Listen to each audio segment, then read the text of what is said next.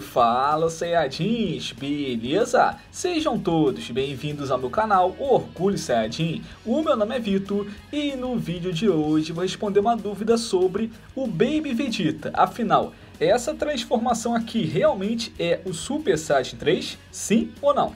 Até porque ele não tem as sobrancelhas, entretanto também não tem os cabelos grandes. Aí fica a dúvida, é ou não é o Super Saiyajin 3? E se você tem essa dúvida, eu vou responder nesse vídeo. E lembrando, aqui no canal tem vídeo todos os dias sobre Dragon Ball, não perca nenhum. Falado isso, então, vamos começar! I am Saiyajin!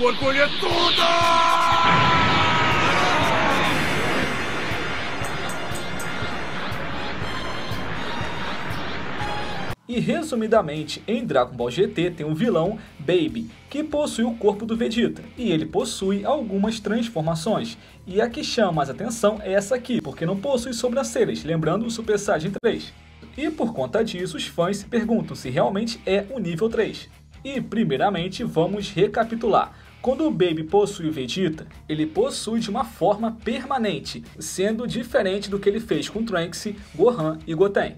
E quando o Baby escolhe o hospedeiro permanente, ele se funde de forma unicelular, e assim tendo modificações visuais em seu corpo. E uma das suas modificações visuais é a cor do seu cabelo em Super Saiyajin, que fica na cor branca, diferentemente do Gohan e Goten que mantém o cabelo dourado, pelo motivo que eu disse antes de não ser hospedeiros permanentes. E por conta disso, nós podemos ver a evolução natural. O Baby passa pela forma base, Super Saiyajin 1, Super Saiyajin 2 e o Super Saiyajin 3. Mas na verdade, o que confundiu muita gente, inclusive a mim, foi a sua nomeação, porque na Perfect File diz que o seu nome é Super Baby 1 e Super Baby 2. Então, quando eu jogava o Budokai Tenkaichi 3, eu via lá Baby Vegeta, Super Baby 1, Super Baby 2. Eu pensava o quê? Ah, forma base, Super Saiyajin 1, Super Saiyajin 2. Correto? Não, muito errado.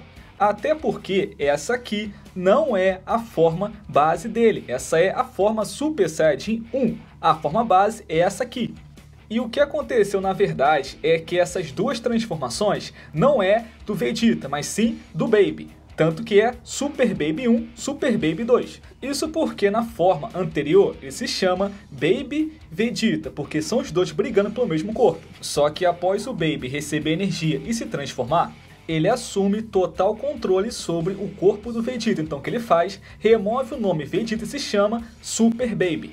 E após isso ele recebe mais energia e se transforma novamente, e nomeando a sua nova transformação de Super Baby 2. Então, fazendo aqui uma renomeação, como se fosse, por exemplo, Baby Vegeta é o Vegeta Super Saiyajin 1, Super Baby 1 é o Vegeta Super Saiyajin 2 e Super Baby 2 é o Vegeta Super Saiyajin 3. E já aproveitando, eu vou responder uma outra dúvida, porque tem gente que pensa que o Super Baby 1 é o Super Vegeta, no caso, o Super Saiyajin Darindankai. E por conta disso, o Super Baby 2 seria o Vegeta Super Saiyajin 2. Mas acaba que essa teoria não faz sentido, porque assim, o Super Baby 1 não tem nada a ver com o Daidankai. E já o Super Baby 2 não tem nada a ver com o Super Saiyajin 2, mas sim com Super Saiyajin 3. Entretanto, esse aqui não é o Super Saiyajin 3 comum, mas sim o Super Saiyajin 3 adaptado para o corpo do Baby. E o que entrega que é o nível 3 é a falta de sobrancelha e essa parte mais elevada que tem na testa. E a única transformação que possui essas características é somente o Super Saiyajin 3. Ah, mas e o Ego Superior? Isso é do Super, atual não tinha anteriormente. Até lá tinha somente o nível 3. Mas aí vem a principal pergunta, se esse realmente é o nível 3, então cadê os cabelos grandes? Cadê tá onde for parar? E então, se por acaso você for um bom garoto, uma boa garota, você viu o vídeo que eu fiz sobre o Super Saiyajin 3. E naquele vídeo eu expliquei em detalhes que o Super Saiyajin 3 é a concentração de Ki energia nos cabelos. E é por esse motivo que o cabelo fica gigante. Entretanto, o Baby recebeu energia de outras pessoas. E por conta disso, ele não precisou concentrar a sua energia em seus cabelos porque ele conseguiu acumular energia de outras pessoas, nesse caso conseguindo Super Saiyajin 3 sem precisar fazer isso. E é por esse motivo que esse Super Saiyajin 3 do Baby não tem um cabelo grande. E é como se fosse um Super Saiyajin 3, Masters, Ultra, Super, algo assim, tá ligado? Então, para quem não sabia, esse aqui é o Super Saiyajin 3 exclusivo e único do Baby.